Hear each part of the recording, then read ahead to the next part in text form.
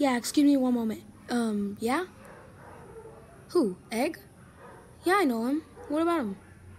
You want me to say what I think about him? Um, I think he's a cool guy. Makes cool animations. So that's all I have to say. Bye.